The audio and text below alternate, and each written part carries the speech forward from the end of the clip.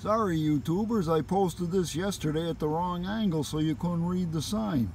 May I always be the kind of person my dog thinks I am. Tough words to live up to, and I hope I do.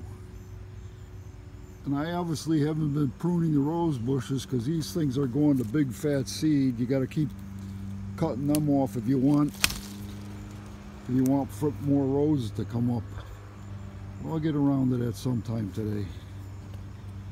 We got the dog, angels. Mother angel fell over. She must have been drink. She must have been into my steel reserve. Get up there, angel. You got work to do here. Yeah. Smile for the camera.